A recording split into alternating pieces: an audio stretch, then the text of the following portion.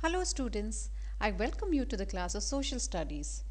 We now move to Unit 3 which is Using Our Resources. Our objectives for today are Use visuals to determine word meanings, use words and visuals to preview the content of the unit. Our vocabulary words that we have to remember are natural resource, conservation, technology and product. Can you please repeat after me? Natural resource, conservation, technology, product. Very good. Let's look at what natural resources. What do you see in the two pictures? To the left, you see a stream of water and to the right, you see a cow who is chewing. Chewing is a word that we learnt in English recently. Okay. Now, something found in nature that can be used by people is known as natural resource.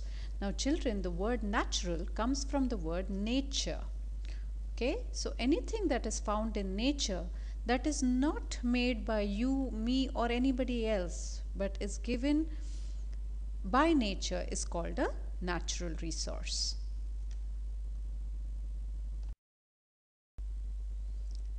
We now look at conservation. Conservation means saving of resources to make them last longer. What do you see in the GIF picture? There's a lot of wastage of water. Wastage does not mean conservation. Conservation means to save. So, in order for us to save, we should not waste water and we should protect our lands. We now move to technology. Technology is everywhere around you. Right now, you're listening to my class without being physically in the class. That also is because of the technology. Thanks to technology, that despite coronavirus being there, nothing stopped us from studying. So, the use of new objects and ideas in everyday life is called technology. Your computer, your mobile phones, your projectors, all of these things that are made by human beings but are more like machines is thanks to technology.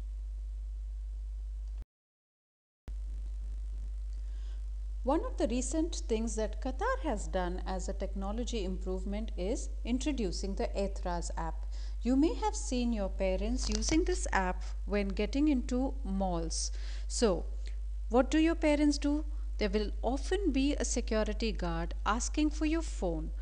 We show the phone to them with the, in fact, even when we are coming to school, uh, all of us teachers have to show our phones and make sure that we are on the green code. Green code means we do not have coronavirus.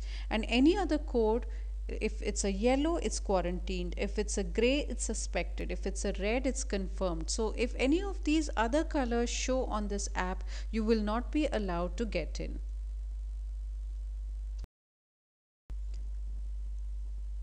Our last vocabulary word for today is product. Product is something that is made by nature or by people. What do we mean by made by nature? Milk, eggs, these are things that are made by nature. And people package them and hence it becomes a product. So let's do a quick question and answer session. Name some food products that are made by nature. We just talked about it.